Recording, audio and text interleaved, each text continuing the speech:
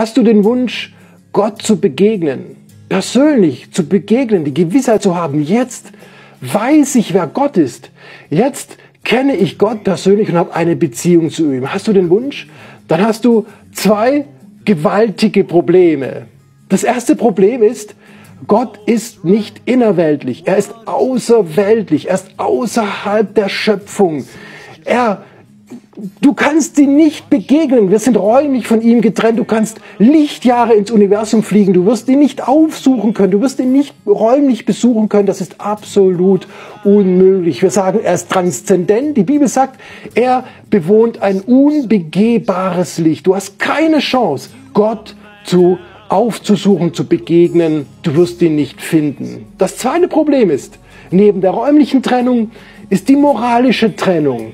Wir sind moralisch getrennt von ihm, denn sein Wesen ist Heiligkeit. Er ist durch und durch heilig und wir Menschen sind durch und durch sündig. Die Bibel sagt, wir sind Sünder.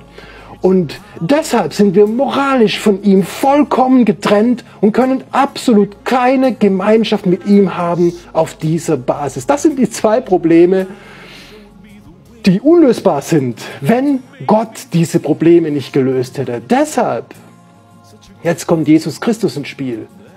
Deshalb kam ja Gott in diese Welt, Jesus Christus.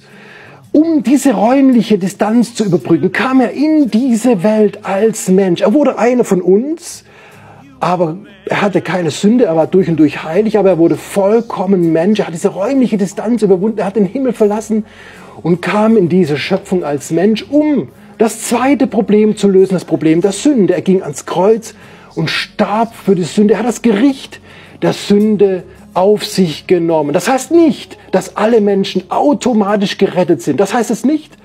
Aber du hast die Möglichkeit, ihn anzunehmen als deinen Retter. Du hast die Möglichkeit, das Geschenk der Vergebung anzunehmen, weil er für dich gestorben und auferstanden ist.